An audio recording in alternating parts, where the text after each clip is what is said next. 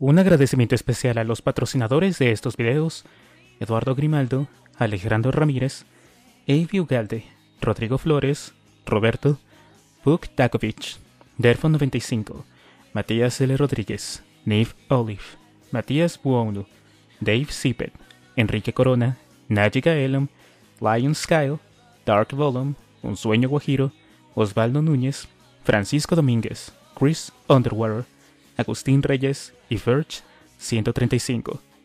De igual manera, un gran agradecimiento por sus superchats a Fernando Quiroz, Frina Lucho, Brand Dooms, Matías L. Rodríguez, Lion Skyle y Lindert.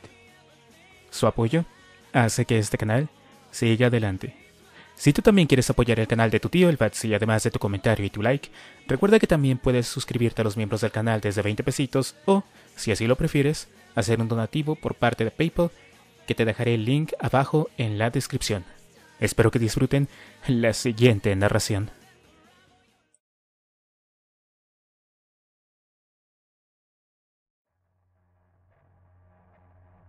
El trailer. Sarah Harding todavía colgaba en el extremo del trailer, levantando la vista, contempló el fuelle retorcido que comunicaba con el segundo trailer. Las embestidas de los dinosaurios habían cesado y el trailer ya no se movía.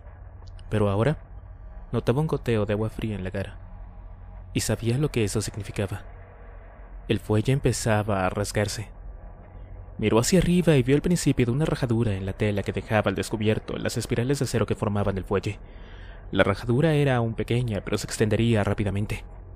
Y al romperse la malla, el acero se desenroscaría, se alargaría y finalmente cedería. Solo disponía de unos minutos antes de que el trailer se desprendiera y cayera al vacío. Descendió de nuevo hasta donde se encontraba Malcolm y buscó un punto de apoyo firme junto a él. Ian. Sí, ya lo sé, contestó Malcolm con un gesto de negación. Tenemos que salir de aquí. Lo agarró por las axilas y lo ayudó a enderezarse. Tú vienes conmigo. Malcolm, derrotado, volvió a negar con la cabeza. Sara ya había visto antes en su vida ese mismo gesto de renuncia y lo detestaba. Ella jamás se rendía. Malcolm lanzó un gruñido. Eh, no puedo. Tienes que hacerlo, instó Sara. Sara. No pienso escucharte, Ian. No tenemos nada de qué hablar. Y ahora vamos. Tiró de Malcolm y él gimió.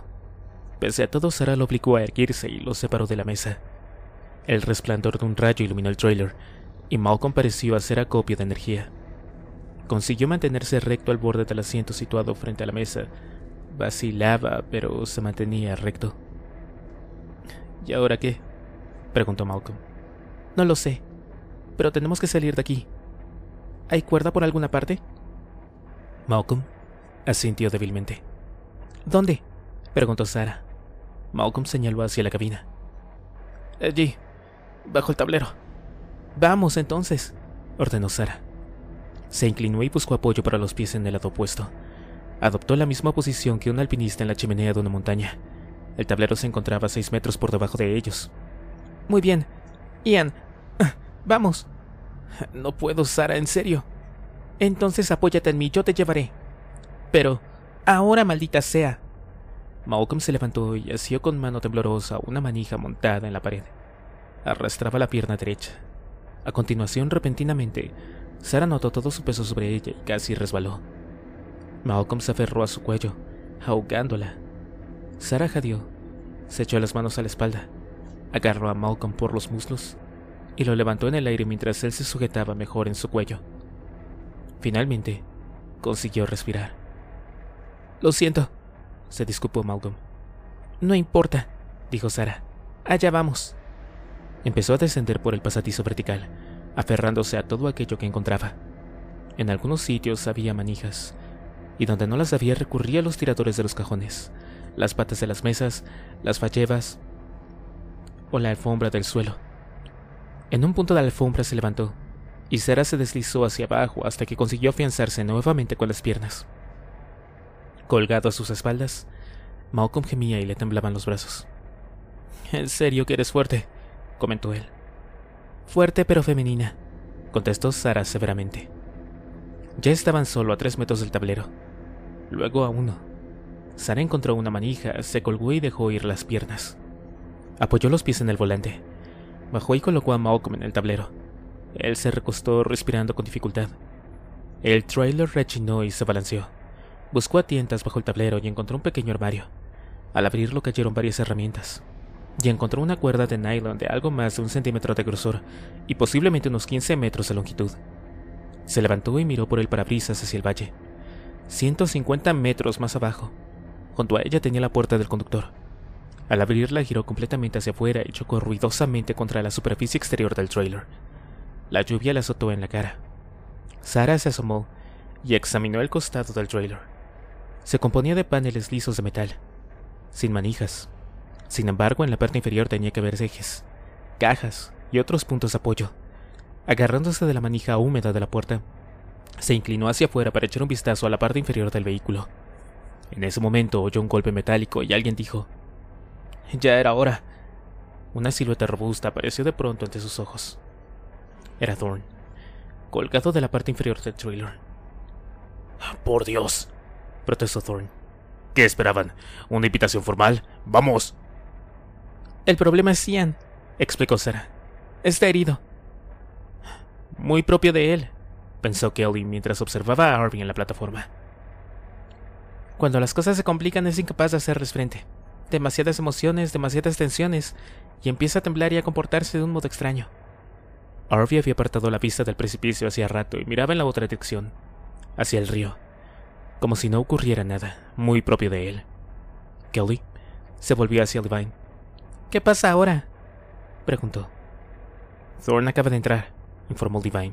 ¿Entrar? En el trailer quiere decir. Sí. Y ahora ha salido alguien. ¿Quién? Creo que Sara. Kelly se esforzó por ver algo en la oscuridad. La lluvia había amainado y ya solo caía una fina llovizna. Al otro lado del valle el trailer colgaba aún en el vacío. Kelly creyó distinguir una figura agarrada en la parte inferior del vehículo, pero no estaba segura.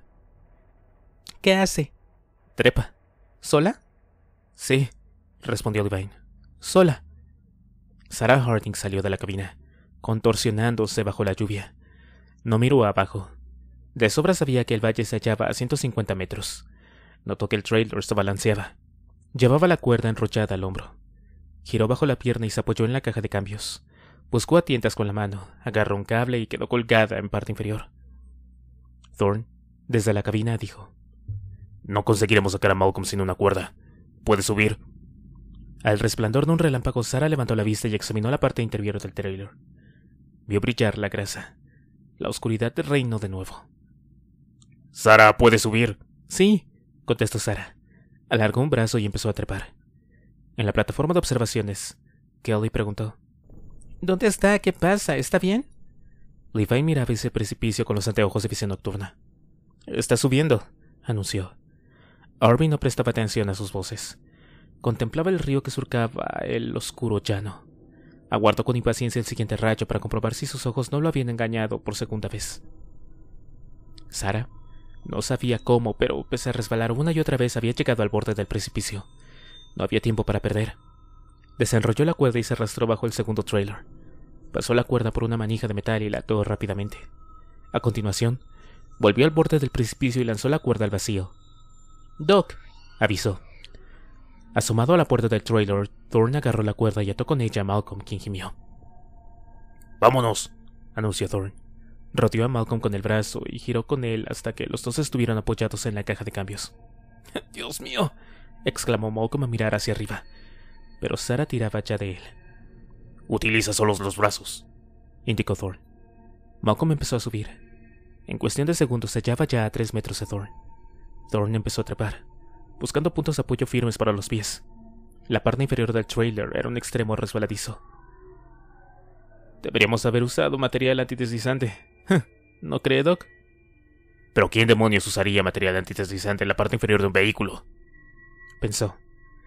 Mentalmente vio rasgarse el fuelle, lentamente abriéndose cada vez más. Siguió trepando, una mano tras otra, un pie tras otro.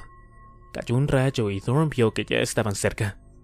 Sara, de pie al borde del precipicio, tendió las manos para ayudar a Malcolm, cuyas piernas colgaban flácidas. Subía solo con la fuerza de los brazos, pero no se daba por vencido. Sara lo agarró por el cuello de la camisa y tiró de él. Thorn vio que desaparecía sobre el borde del precipicio.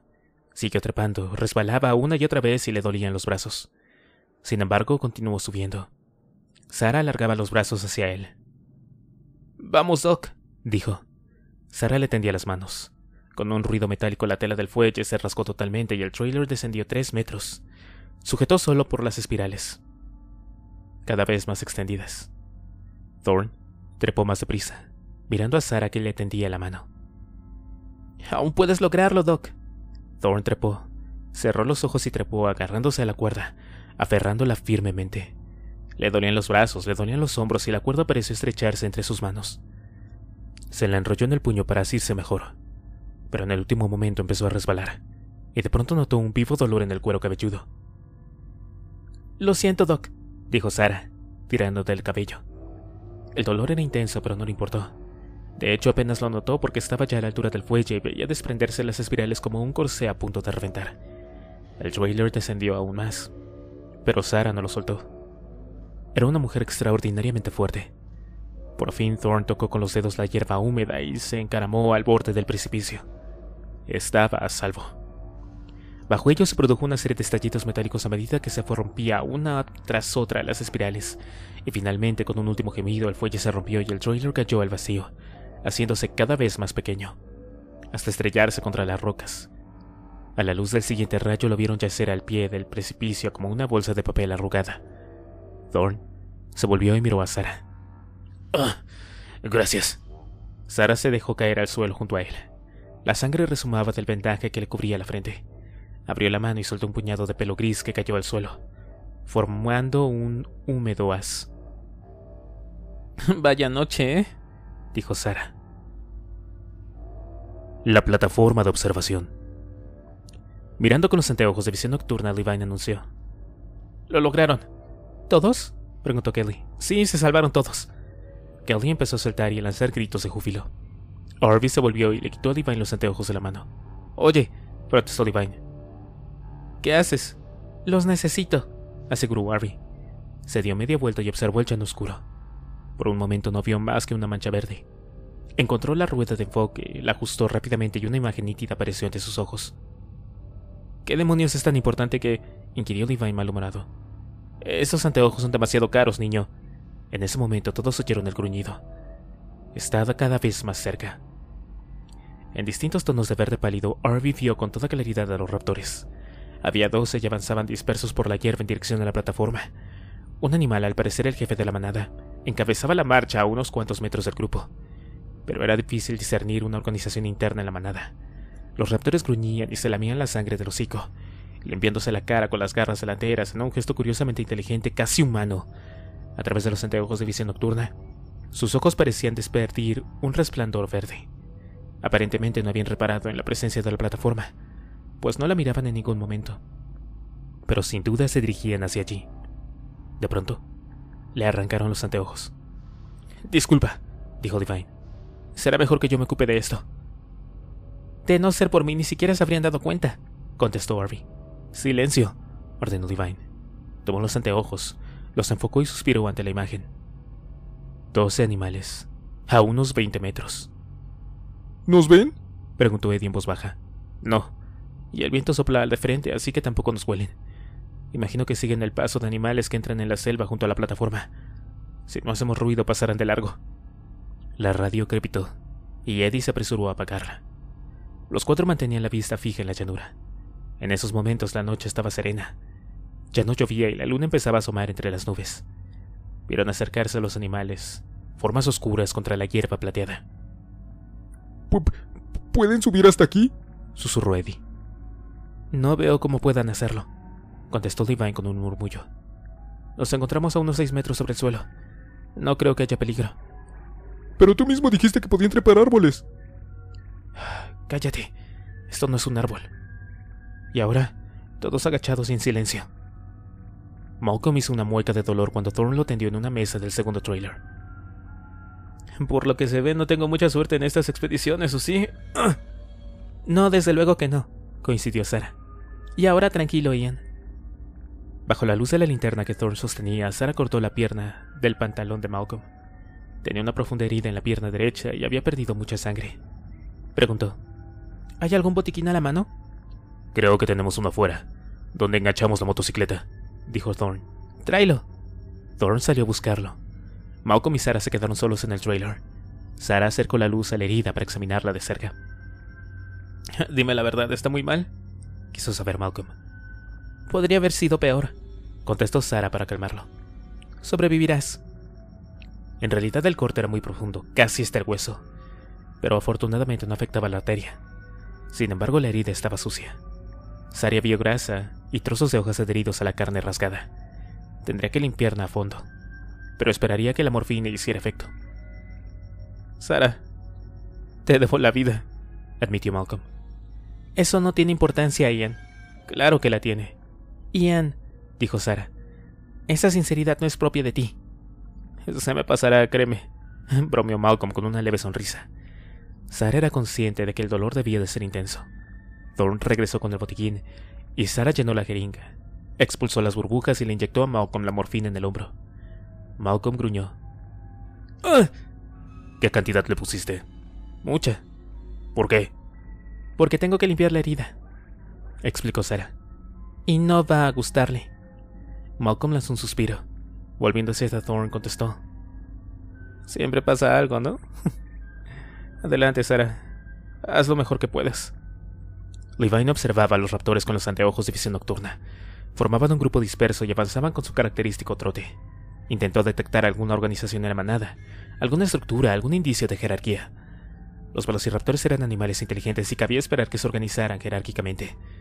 Y eso debe ponerse de manifiesto en su configuración espacial. Sin embargo, Levine no identificó pauta alguna. Parecían una banda de merodeadores, sin orden, silbándose y agrediéndose mutuamente. Junto a Levine, Eddie y los chicos se hallaban agachados. Eddie los rodeaba con los brazos para tranquilizarlos. El chico en particular estaba aterrorizado. La chica, en cambio, parecía más calmada. Levi no entendía la razón de tanto miedo. En lo alto de la plataforma se encontraban a salvo. Él observaba acercarse la manada con objetividad académica, tratando de advertir algún patrón en sus rápidos movimientos. Sin duda seguían el paso de animales. Mantenían exactamente la misma trayectoria que los parasaurios unas horas antes, del río a la selva pasando junto a la plataforma. Los raptores no presentaron la menor atención en la estructura. Básicamente interactuaban entre sí. Los animales rodearon la plataforma, y parecían alejarse cuando el raptor más cercano se detuvo. Quedó resacado del resto de la manada y olfateó el aire. De pronto se inclinó y comenzó a hurgar con el hocico al pie de la estructura. Levi se preguntó qué hacía. El raptor solitario gruñó. Continuó husmeando en la hierba y por fin se irguió con algo entre las garras delantera. Levine entornó los ojos esforzándose por ver de qué se trataba. Era un trozo del envoltorio de un chocolate. El raptor alzó la vista. Miró directamente a Levine con ojos resplandecientes. Y gruñó. Malcolm. ¿Te encuentras bien? dijo Thorne. Sí, cada vez mejor, respondió Malcolm con un suspiro. Estaba relajado. No es raro que la gente guste de la morfina. Sarah Harding ajustó la férula del plástico inflable en torno a la pierna de Malcolm y le preguntó a Thorne. ¿Cuánto falta para que llegue el helicóptero? Thorne consultó el reloj. Menos de cinco horas. Estará aquí al amanecer. ¿Seguro? Sí. Muy bien, dijo Sarah sintiendo la cabeza. Se pondrá bien. Estoy perfectamente, afirmó Malcolm con voz de sueño. Solo tenía que... bueno, lamentarme de que concluya el experimento. Y ha sido un buen experimento. Tan elegante, tan único. Darwin no sabía nada. Voy a limpiar la herida ahora, anunció Sarah. Sujeta bien la pierna. Levantó la voz y añadió. ¿Qué es lo que Darwin no sabía, Ian?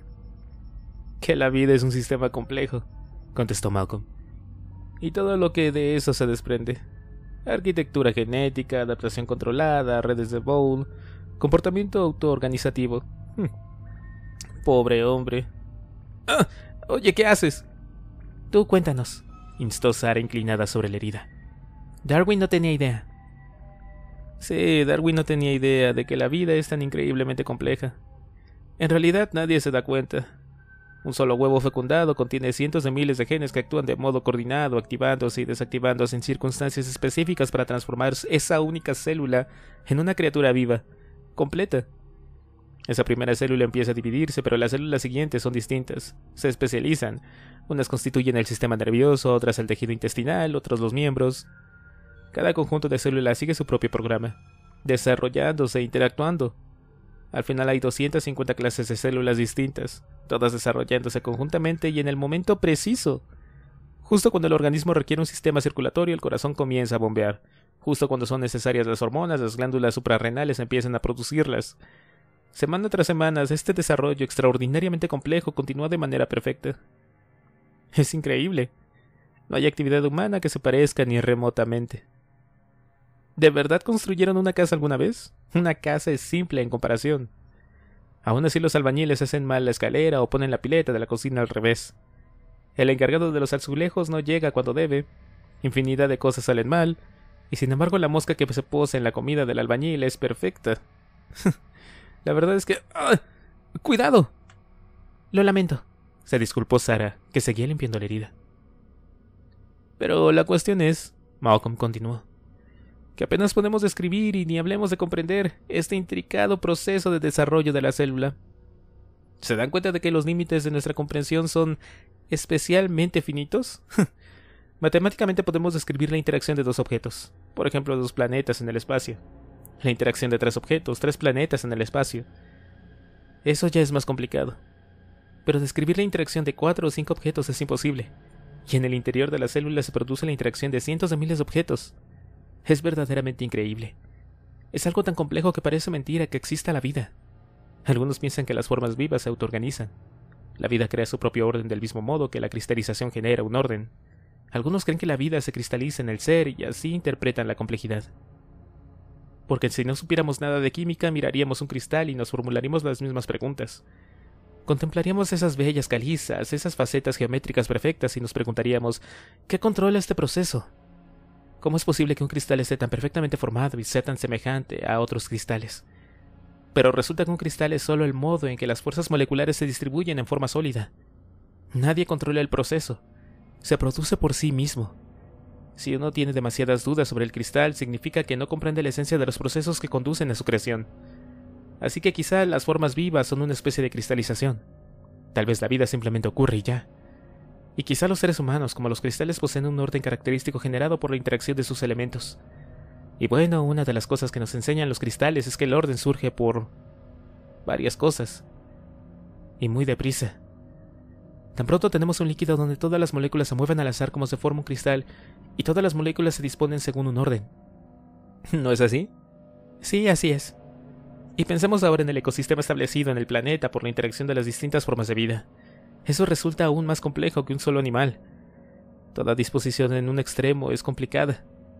Como por ejemplo la yuca. ¿Saben qué ocurre con la yuca, no? No, cuéntanos. La yuca depende de una mariposa nocturna que recoge el polen.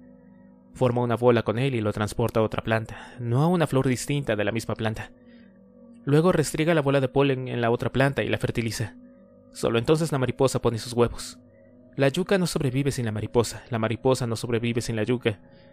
Esa clase de interacciones es la que nos hace pensar que el comportamiento es también una especie de cristalización. ¿Hablas metafóricamente? preguntó Sara. Hablo del orden de todo el mundo natural, afirmó Malcolm, y de lo deprisa que puede surgir a través de la cristalización. Porque el comportamiento de los animales complejos puede evolucionar rápidamente, puede producirse alteraciones a gran velocidad, los seres humanos están transformando el planeta y nadie sabe a ciencia cierta si ese desarrollo es peligroso o no. De modo que esos procesos del comportamiento se producen más deprisa de lo que suelen creerse. En 10.000 años los seres humanos han pasado de la casa al cultivo de la tierra, del cultivo de la vida en las ciudades y de las ciudades al ciberespacio. El comportamiento evoluciona y arrasa, y nadie sabe si podremos adaptarnos. Aunque yo personalmente creo que el ciberespacio será el final de la especie. ¿Ah, sí? ¿Por qué? Porque significa el fin de la innovación, dijo Malcolm. Esa idea de mantener interconectado al mundo entero equivaldría a la muerte en masa.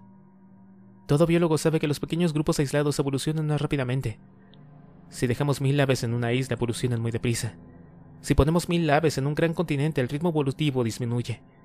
Actualmente en nuestra especie la evolución se produce en esencia a través del comportamiento. Innovamos el comportamiento para adaptarnos. Y todo el mundo sabe que la innovación solo da sus grandes características en pequeños grupos. Si tenemos un comité de tres personas, es posible que lleguen a alguna parte. Con diez personas el asunto se complica. Si son treinta ya no hay nada que hacer. Con treinta millones resulta absolutamente imposible.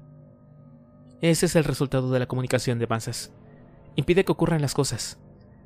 La comunicación de masas anula la diversidad. Uniforma todos los rincones del planeta. Bangkok, Tokio o Londres se convierten en lo mismo. Un McDonald's en la esquina, un negocio de Benetton en la otra y un negocio de Gap al otro lado de la calle. Las diferencias regionales se desvanecen. En un mundo dominado por los medios de comunicación hay menos de todos salvo listas de los 10 mejores libros, 10 mejores discos, 10 mejores películas o las 10 siquiera mejores ideas. A la gente le preocupa que se pierda la diversidad de la especie en las selvas tropicales, pero ¿y la diversidad intelectual? ¿Nuestros recursos más valiosos? Eso está desapareciendo más deprisa que los árboles. Sin embargo, de eso no nos damos cuenta. Y ahora planeamos conectar a 5 mil millones de personas mediante el ciberespacio. Y con eso se paralizará la especie entera. Todo se detendrá de repente, todo el mundo pensará lo mismo al mismo tiempo. Uniformidad global. Oye. en serio me estás haciendo daño. ¿Terminaste? Ya casi, respondió Sara. Tú sigue hablando. Y sin duda ocurrirá muy deprisa. Mira, si observamos la evolución de un sistema complejo en un gráfico de adaptación, vemos que el comportamiento varía a un ritmo tan rápido que la capacidad de adaptación puede quedarse atrás fácilmente. No es necesario que caiga un asteroide o aparezca una enfermedad. Un simple cambio en el comportamiento puede ser fatal para una especie. En mi opinión, los dinosaurios, unas criaturas muy complejas, podrían haber sufrido uno de estos cambios, y eso los llevó a la extinción. ¿A todos? Bastaría con que se extinguieran primero unos cuantos, aclaró Malcolm. Supongamos que una clase de dinosaurios se establece en los pantanos que rodean el mar interior. Altera la circulación del agua y destruye la vegetación de la que dependen otros animales. Varias clases desaparecen. Eso provoca nuevos trastornos. Se extingue un depredador y su presa prolifera descontroladamente. El ecosistema se desequilibra. Las cosas empeoran. Mueren más especies y de pronto todo ha terminado. Solo por el comportamiento. Sí, afirmó Malcolm. Al menos esa era la idea y pensaba que aquí podríamos verificarla. Pero se acabó. Tenemos que largarnos aquí. Mejor será que les avisen a los otros. Thorn puso el botón de la radio. Eddie, soy yo, el Doc. No hubo respuesta. Eddie. La radio crepitó, y a continuación oyeron un ruido que inicialmente sonó como una interferencia estática. Tardaron un momento en darse cuenta de que era un grito humano. Plataforma de observación. El primer raptor sisió y empezó a saltar hacia la plataforma. A cada intento sacudía la estructura y arañaba el metal con las garras. Eddie observó un asombroso salto a la altura que estos mismos estaban dando. Sin aparente esfuerzo se elevaban a dos metros y medio del suelo. Esos saltos atrajeron a los otros animales que rodearon lentamente la plataforma. Al cabo de un momento la estructura comenzó a balancearse a causa de las embestidas de los animales que se lanzaban una y otra vez intentando sujetarse al andamiaje. Pero lo más alarmante, como advirtió Levine, era que aprendían. Algunos de los raptores habían empezado a utilizar los miembros anteriores para agarrarse a la estructura y sostenerse mientras buscaban un punto de apoyo para las patas traseras. Uno de los raptores casi trepó hasta el refugio antes de caer. Las caídas no parecían afectarlos. Se levantaban de inmediato y seguían saltando. Eddie y los chicos se pusieron de pie. ¡Atrás! ordenó Levine empujando a los chicos al centro del refugio. ¡No miren! Eddie sacó una bengala de la mochila y la arrojó por encima de la baranda. Dos raptores cayeron al suelo. Sin embargo, el resplandor de la bengala no ahuyentó a los animales. Eddie agarró una barra de aluminio de la estructura y se asomó por encima de la baranda, blandiéndola como estaca. Uno de los raptores encaramados al andamiaje lanzó una dentellada al cuello de este mismo Eddie. Sorprendido, se apartó, pero las fauces del animal atraparon la camisa a continuación, el raptor cayó, arrastrando a Eddie con su peso. ¡Auxilio! ¡Auxilio! gritó doblando sobre la baranda. Levine lo agarró entre los brazos y tiró de él. Eddie golpeó al raptor en el hocico con la barra, pero el animal siguió aferrado a él como un bulldog. Eddie se hallaba inclinado precariamente sobre la baranda. Podía caer en cualquier momento. Le clavó la barra en un ojo al animal, y este lo soltó. Eddie y Levine cayeron de espaldas en el refugio. Cuando se levantaron vieron a varios raptores trepando por los costados de la estructura. En cuanto asomaban en lo alto, Eddie los golpeaba con la barra. ¡Deprisa! ¡Deprisa al techo! ordenó a los chicos. Kelly trepó fácilmente por la estructura y subió al techo. Harvey, en cambio, se quedó inmóvil con la mirada perdida. ¡Vamos, Arv! instó Kelly. Harvey estaba paralizado por el miedo. Levine corrió a ayudarlo. Eddie blandía la barra, trazando amplios círculos alrededor, golpeando una y otra vez a los raptores. Uno agarró la barra entre los dientes y tiró con fuerza. Eddie perdió el equilibrio, retrocedió a tropezones y cayó gritando por encima de la baranda. De inmediato todos los animales saltaron al suelo. Desde lo alto de la plataforma oyeron los alaridos de Eddie. Los raptores no dejaban de gruñir. Levine estaba aterrorizado. Aún tenía a Orby entre sus brazos para ayudarlo a subir al techo. Vamos, repetía. Vamos, vamos. Desde arriba Kelly decía. Arf, puedes lograrlo. El chico se agarró al techo y subió. Tenía las patas agarrotadas del terror. Sin querer, golpeó a Divine en la boca. Divine lo soltó y vio cómo resbalaba y caía de la plataforma. ¡No, Dios! ¡No! exclamó Divine. Thor se hallaba bajo el trailer, desenganchando el cable. Cuando logró soltarlo, salió a rastras y corrió hacia el jeep. Oyó el zumbido de un motor y vio que Sara se había montado en la motocicleta y se alejaba ya con un rifle Lindstrad al hombro. Se sentó al volante del jeep, encendió el motor y aguardó con impaciencia que el cable del cabrestrante se enrollara. Miró por encima del hombro y vio desaparecer entre el follaje la luz posterior de la moto. Por fin se detuvo el motor del cabrestrante, y Thorne arrancó. Pulsó el botón de la radio y dijo: Ian. No te preocupes por mí, contestó Malcolm con voz soñolienta. Estoy bien. Kelly estaba tendida boca abajo en el techo inclinado del refugio, asomada al borde. Vio que era Harvey violentamente contra el suelo. Eddie había caído por el lado opuesto de la estructura. Kelly movió la cabeza para aferrarse mejor al húmedo metal, y cuando miró de nuevo, Harvey había desaparecido. Desaparecido sin dejar rastro. Sarah Harding avanzaba rápidamente por el camino embarrado. No sabía con seguridad dónde se hallaba, pero supuso que bajando llegaría tarde o temprano al valle. Al menos eso esperaba. Aceleró. Dobló en una curva y de pronto vio un tronco enorme que obstruía el paso. Frenó, dio la vuelta y volvió hacia atrás. Más arriba vio los faros del jeep de Thorne, que giraban a la derecha. Siguió al jeep, acelerando en la oscuridad. Levine se hallaba de pie en el centro de la plataforma, paralizado por el miedo. Los raptores ya no intentaban trepar por la estructura.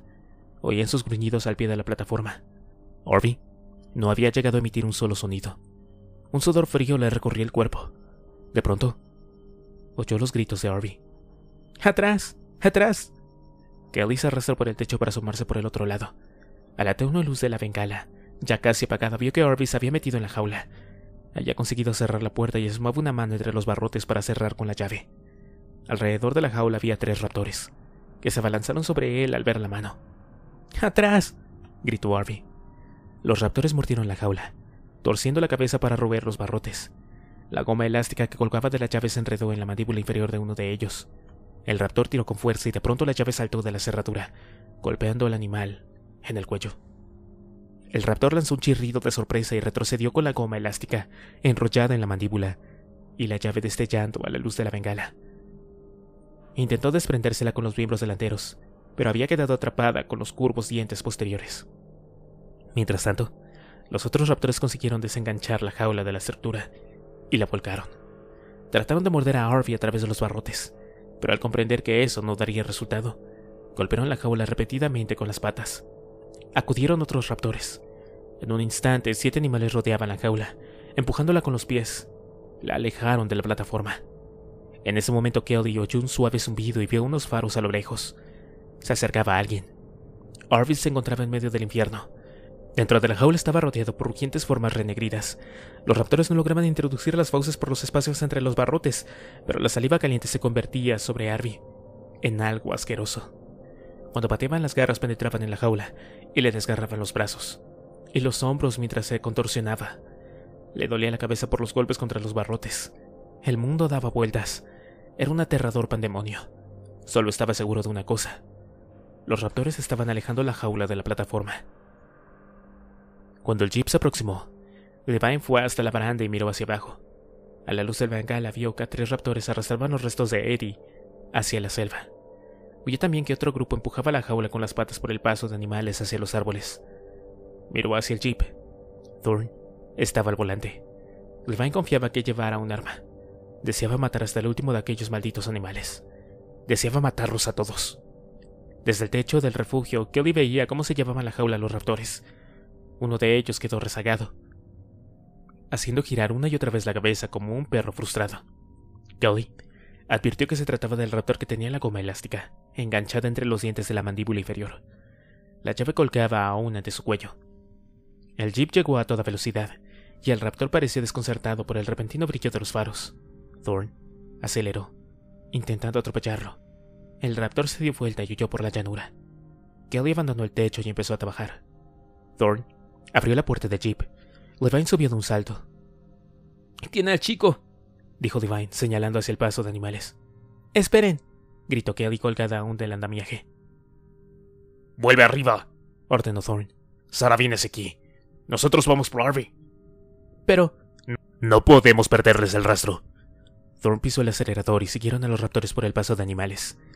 En el trailer Ian Malcolm oía los gritos por la radio. Percibían las voces miedo y confusión. Ruido negro. El caos impone. La interacción de cien mil objetos, pensó. Lanzó un suspiro y cerró los ojos. Thorn conducía rápidamente entre la densa vegetación. El paso de animales estrechó. Las hojas de las palmeras azotaban los costados del jeep. ¿Podremos pasar? preguntó Thorn. El ancho es suficiente, dijo Divine. Yo lo recorrí esta mañana. Los parasaurios usaron este camino. ¿Cómo pudo ocurrir una cosa así? Se lamentó Thorn. La jaula estaba enganchada a la estructura. No lo sé, contestó Divine. Se dio y ya. ¿Cómo? ¿Cómo? No lo vi. Pasaron muchas cosas. ¿Y Eddie? preguntó Thorn sombríamente. Todo fue muy rápido. Thorn siguió avanzando temerariamente. Ante ellos los raptores se movían deprisa. Apenas veían al último grupo. No me escucharon, exclamó Kelly cuando Sara llegó a la motocicleta. ¿A qué te refieres? El raptor se llevó la llave. Arby está encerrado en la jaula y el raptor se llevó la llave. ¿Por dónde? preguntó Sara. Por allí, dijo Kelly señalando hacia la llanura. A la luz de la luna vieron la silueta oscura del raptor a lo lejos. Necesitamos la llave. Sube, instó Sara, descolgándose el rifle del hombro y entregándoselo a Kelly. ¿Sabes disparar? No. Bueno, nunca. ¿Sabes conducir la moto? No. Entonces tendrás que ocuparte del rifle, ordenó Sara. Mira, este es el gatillo, ¿de acuerdo? Este es el seguro. Se quita así, ¿entendido? Va a ser un viaje agitado, así que manténlo puesto hasta que estemos cerca. ¿Cerca de qué? inquirió Kelly. Pero Sara no la oyó. La motocicleta aceleraba, ya no por la llanura tras el raptor. Kelly se agarró a Sara con el brazo. El jeep avanzaba por el camino embarrado, sacudiéndose violentamente. No recordaba que estuviera tan en mal estado, comentó Divine, sujetándose a la manija del jeep. Tal vez deberías ir más despacio. De eso ni hablar, contestó Thorn. Si los perdemos de vista no habrá nada que hacer. No sabemos dónde está el nido de los raptores. Y en esta selva de noche... ¡Ah, ¡Maldita sea! Ante ellos los raptores abandonaron el camino y desaparecieron entre el follaje. Thorn apenas veía el terreno, pero parecía descender casi verticalmente. No lo lograrás, dijo Divine. Hay demasiada pendiente. No hay alternativa. No estás loco, amonestó Divine. Afronta los hechos. Perdimos al chico, Doc. Thorn lanzó una mirada de furia a Divine. Y él no te abandonó a ti, y nosotros no vamos a abandonarlo a él. Thorn giró al volante y salió del camino. El jeep se inclinó peligrosamente, cobró velocidad e inició el descenso. ¡Mierda! exclamó Divine. Vamos a matarnos. Solamente agárrate fuerte. Traqueteando, se precipitaron ladera abajo en la oscuridad. La persecución. La motocicleta avanzaba rápidamente por la hierba. Kelly se aferraba a Sara, con una mano y sostenía el rifle con la otra. Empezaba a cansarse el brazo. La motocicleta se sacudía por el irregular terreno. El pelo, agitado por el viento, la azotaba la cara. Agárrate fuerte, advirtió Sara. La luna asomó entre las nubes, y ante ellas la hierba adquirió una tonalidad plateada. El raptor se encontraba a 40 metros, justo en el límite del espacio iluminado por el faro. Ganaba terreno poco a poco.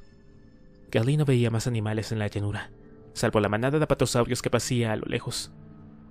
Se acercaron al raptor, El animal corría a gran velocidad con la cola rígida, prácticamente oculta entre la hierba. Cuando lo alcanzaron, Sara giró gradualmente a la derecha para aproximarse al animal. Entonces se inclinó hacia atrás, acercándose la boca al oído de Kelly. Prepárate. ¿Qué hago? preguntó Kelly. Avanzaban ya junto a la cola del raptor. Sara aceleró para alcanzar la cabeza. El cuello, indicó Sara. Dispárale al cuello. ¿A dónde? A cualquier sitio, al cuello. Kelly manipuló torpemente el rifle y preguntó. ¿Ahora? No, aún no, espera. El raptor, aterrorizado por la proximidad de la motocicleta, aumentó la velocidad. Kelly buscó el seguro. El rifle saltaba entre sus manos. Por fin dio con el seguro y se lo quitó. Para disparar tendría que usar las dos manos y eso significaba soltarse de Sara. Prepárate, le avisó Sara. Pero no puedo. Ahora ya, dispara. Sara giró levemente, acercándose aún más al rotor.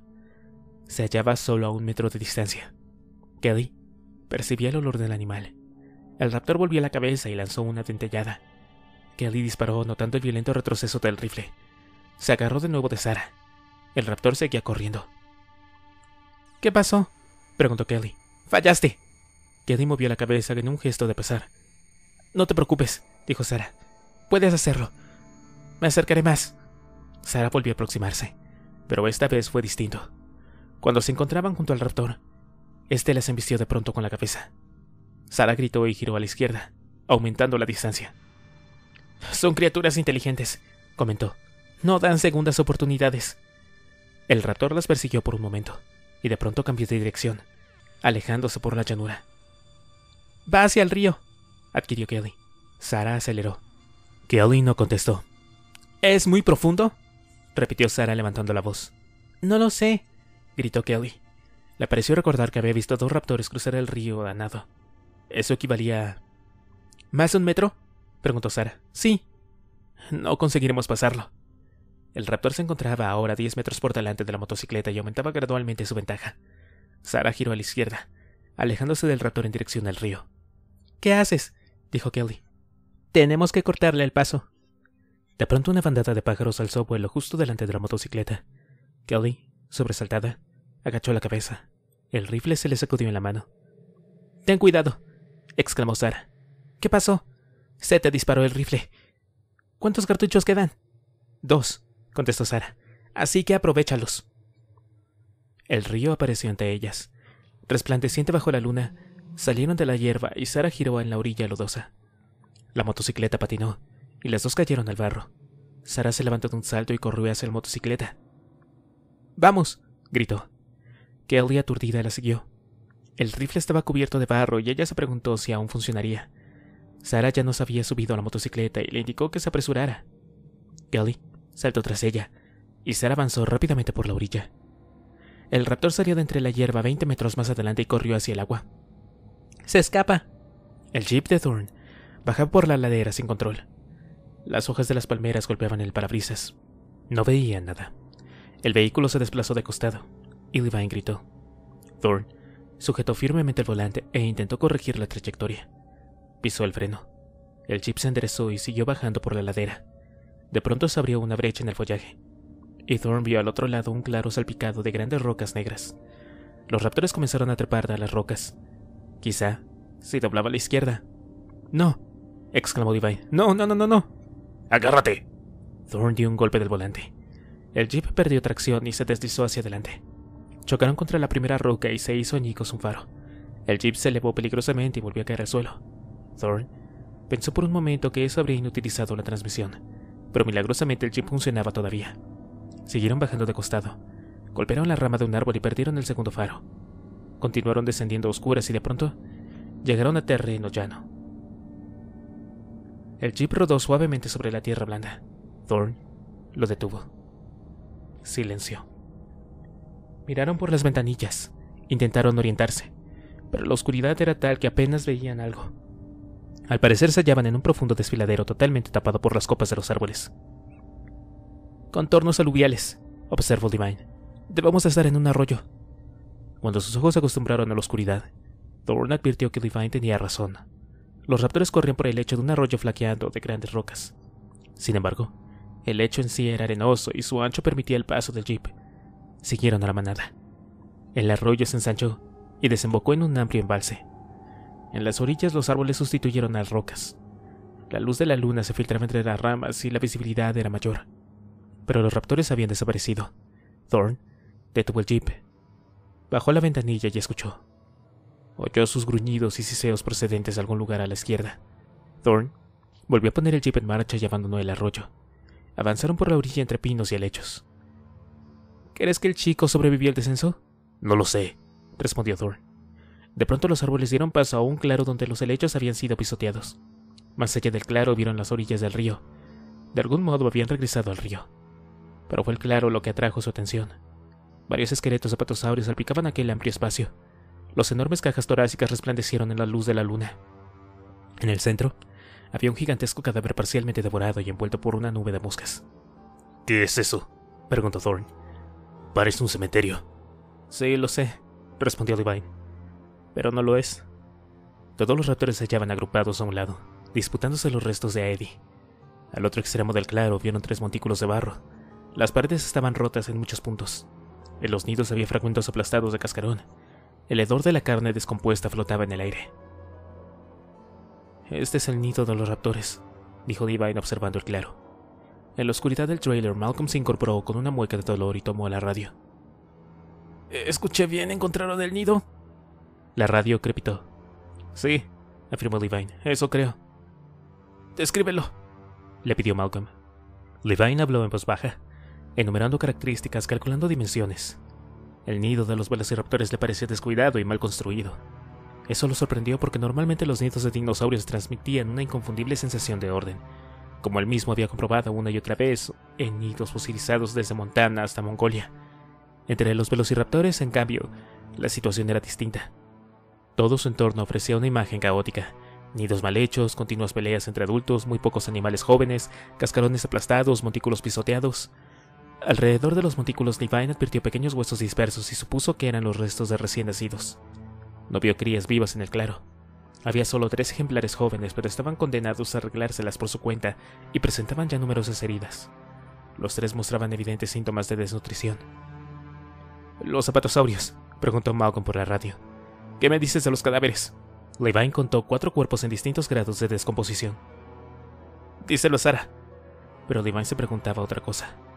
¿Cómo habían llegado hasta allí aquellos cuerpos? Obviamente no habían muerto allí por accidente, sin duda el resto de los dinosaurios procuraba mantenerse a distancias de aquel nido. No podían haber sido atraídos hasta allí y eran demasiado grandes para ser arrastrados. Entonces, ¿cómo habían llegado? Algo le rondaba por la mente. Alguna idea evidente que no conseguía. Han llevado a Arby hasta ahí, apuntó Malcolm. Sí, dijo Divine. Así es. Observó el nido intentando desentrañar el misterio. De pronto Thorn lo golpeó en el codo. Allí está la jaula, advirtió señalando un lugar al otro lado del claro. Divine vio el brillo de los barrotes de aluminio, tapados parcialmente por los helechos. Bien, vamos, propuso Divine. Los raptores disputándose todavía el cuerpo de Eddie no prestaban atención a la jaula. Thorn agarró un rifle Lindstrat y abrió el cargador. Seis dardos. Con esto no basta, comentó Divine. Había al menos diez raptores en el claro. Divine buscó su mochila en el asiento trasero. La encontró en el suelo. Abrió el cierre y sacó un cilindro metálico del tamaño de un refresco. En su exterior llevaba estampados unos huesos cruzados y una calavera. Debajo se leía, precaución, metacolina tóxica. Mivacorium. ¿Qué es eso? preguntó Thor. Una sustancia que elaboraron en los álamos, explicó Levine. Es un neutralizador no letal. Desprende un aerosol colinisterasa de corta duración. Paraliza toda forma de vida durante tres minutos. Dejará a los raptores fuera de combate. Pero ¿y el chico? observó Thorn. No puedes usar eso, lo paralizarás a él también. Si lanzamos el cilindro a la derecha de la jaula, el gas volará en la otra dirección hacia los raptores. O tal vez no, dijo Thorn, y podría afectarlo gravemente. Levine asintió.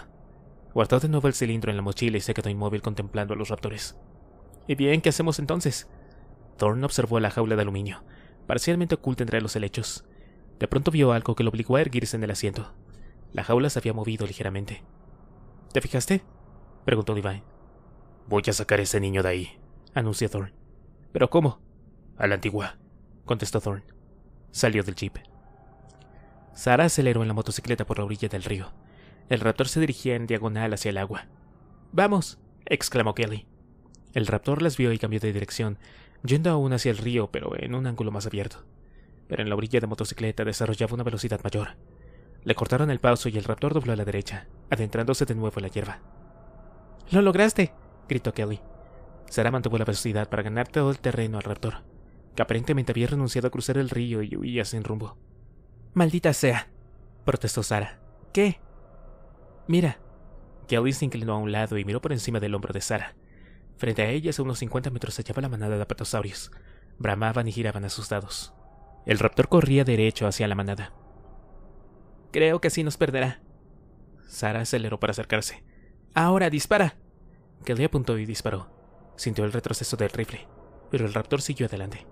Fallaste otra vez, dijo Sara. Frente a ellas los zapatosaurios pateaban el suelo y les volvía la espalda, planeando las pesadas colas en el aire. El raptor continuaba avanzando hacia la manada. ¿Qué hacemos? Preguntó Kelly. No nos queda otra elección. La motocicleta corría paralela al raptor. Juntos pasaron bajo el primer apatosaurio. Kelly echó un vistazo a la curva del vientre, a un metro sobre sus cabezas. Las patas eran tan gruesas como troncos de árbol.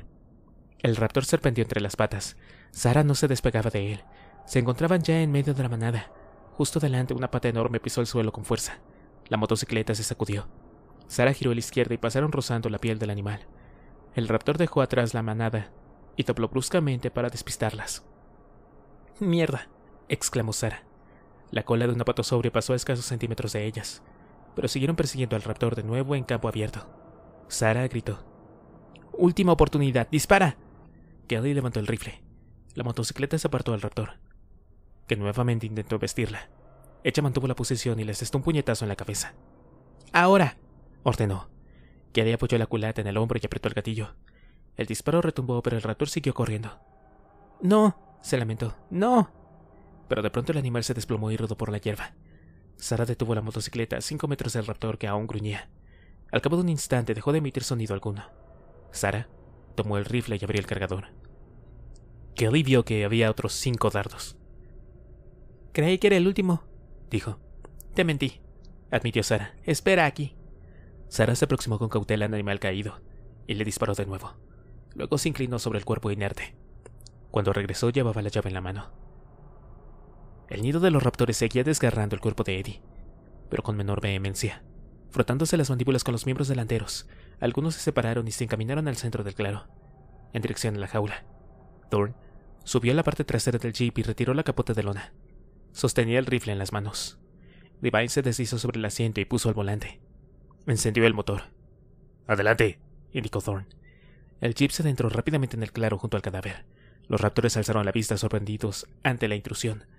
El chip había ya pasado el centro del claro y se desplazaba por debajo de las anchas costillas de uno de los enormes esqueletos. Levine giró a la izquierda y se detuvo junto a la jaula. Thorne saltó del jeep y levantó la jaula con las dos manos. En la oscuridad era incapaz de ver en qué estado se hallaba Harvey. Levine bajó del jeep, pero Thorne le ordenó que volviera a subir. Cargó la jaula de la parte trasera y él se colocó al lado. Levine se puso el jeep en marcha. Los raptores salieron a su persecución. Atravesaron el claro a una velocidad asombrosa. Cuando Devine pisaba el acelerador a fondo, el raptor más cercano saltó por el aire y cayó en la parte trasera del jeep aferrándose a la lona de la capota con los dientes. Devine aceleró el jeep, quien abandonó el claro con un violento traqueteo. En la oscuridad, Malcolm se hundía en los sueños de la morfina.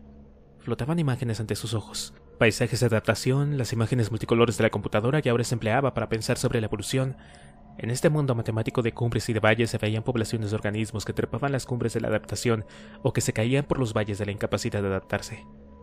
Stu Kaufman y sus colaboradores habían demostrado que los organismos avanzados tenían limitaciones internas complejas que hacían que fueran más probable que no alcanzaran la adaptación, sino que cayeran por los valles. Sin embargo, al mismo tiempo las criaturas complejas eran seleccionadas para evolución, porque tenían la capacidad de adaptarse por sí mismas con herramientas, con el aprendizaje, con la cooperación. Pero los animales complejos habían pagado un costo alto por lograr la flexibilidad adaptativa. Habían cambiado una dependencia por otra. Ya no era necesario que modificaran sus cuerpos para adaptarse, pero ahora la adaptación se refería al comportamiento, que estaba socialmente determinado. Ese comportamiento implicaba el aprendizaje. De algún modo, entre los animales superiores la capacidad de adaptación ya no se transmitía a la próxima generación a través del ADN, ahora se transmitía por medio de la enseñanza. Los chimpancés les enseñaban a sus crías a juntar termitas con una rama, Estas acciones implicaban al menos lo rudimentario de una cultura, una vida social estructurada. Pero los animales criados en forma aislada, sin padres, sin parámetros, no eran del todo funcionales. Los animales del zoológico a menudo no se ocupaban de sus crías porque jamás habían visto hacerlo. No les prestaban atención, o las aplastaban, o simplemente se enfadaban con ellas y las mataban. Los velociraptores estaban entre los dinosaurios más inteligentes y más feroces. Ambas características exigían el control del comportamiento. Hace millones de años, en el ya desaparecido periodo Cretácico, el comportamiento debía de haber estado socialmente determinado y se transmitía de los animales más viejos a los más jóvenes. Los genes controlaban la capacidad de crear estos patrones, pero no los patrones en sí. El comportamiento adaptativo era una especie de moral. Era un comportamiento que había evolucionado a través de muchas generaciones porque era exitoso. Permitía que los miembros de las especies cooperaran, vivieran juntos, cazaran y criaran a las crías. Pero en esta isla los velociraptores habían sido creados en un laboratorio genético. A pesar de que sus cuerpos físicos estaban genéticamente determinados, no sucedía lo mismo con el comportamiento. Estos nuevos raptores llegaron al mundo sin ningún animal. Ningún animal viejo o patriarca que les guiara o les enseñara el comportamiento apropiado para un raptor. Tuvieron que valerse por sí mismos y esa era la manera en que se comportaban, sin estructura, sin reglas, sin cooperación. Vivían en un mundo descontrolado y egoísta donde los más fuertes y agresivos sobrevivían y todos los demás morían. Thorn se agarró a las barras de chasis para no salir despedido. El raptor seguía sujeto a la lona. Devine se dirigió a la orilla del río y avanzó junto al agua. Sin faros la visibilidad era escasa. Se inclinó y miró al frente con los ojos entornados, atento a posibles obstáculos. En la parte trasera el raptor soltó la lona. Cerró las mandíbulas en torno a los barrotes de la jaula y empezó a tirar hacia atrás. Thorn se aferró al otro extremo y entabló una feroz pulseada con el raptor. Pero ganaba el raptor. Thorn se sujetó con las piernas al asiento delantero. El raptor gruñó, y Thorn percibió su furia ante la posibilidad de perder la presa. Toma, dijo Divine teniéndole el rifle. Thorn, tendido de espaldas y agarrando la jaula con las dos manos, no podía agarrar el arma. Divine volvió a la cabeza y se percató de la situación. Miró por el espejo retrovisor y vio que el resto de la manada lo seguía. No podía reducir la marcha sin levantar el pie del acelerador. Giró en el asiento y apuntó el rifle hacia atrás, consciente de lo que ocurriría si disparaba accidentalmente a Thorn o a Harvey. ¡Cuidado! exclamó Thorn. Devine consiguió quitar el seguro y dirigió el cañón hacia el raptor, que continuaba aferrado a la jaula. El animal levantó la vista y con un rápido movimiento atrapó el cañón entre las mandíbulas. Empezó a tirar del arma. Levine disparó. El raptor abrió los ojos desmesuradamente cuando el dardo se alojó en su garganta. Emitió un extraño gorgoteo y al instante, en medio de violentas convulsiones, cayó del jeep arrancándole el rifle de las manos a Divine. Thorn se puso de rodillas y recomodó la jaula en el interior del auto. Volvió la vista atrás y advirtió que los otros raptores aún los perseguían, pero se encontraban ya a 20 metros y perdían terreno rápidamente. Se oyó el chasquido de la radio. Doc, Thorn reconoció la voz de Sara. Sí. ¿Dónde están? Seguimos en el curso del río, contestó Thorn. No veo las luces, dijo Sara. No tenemos luces. Se produjo un silencio. La radio crepitó.